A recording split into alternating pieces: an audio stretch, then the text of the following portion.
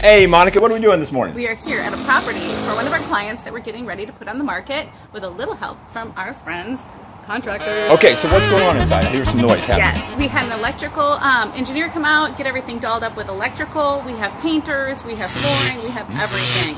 Um, this way we can make more money when we hit the market. Okay, so this is a, tip, a situation where some clients of ours said, Mike, Monica, we want to get this sold. We came by, took a look at it. We said, spend some money here, don't spend money there, and we think this will put more money in your pocket at the end of the day. So if you have a property you're thinking about putting on the market and you want our help, give us a call and we'll come out.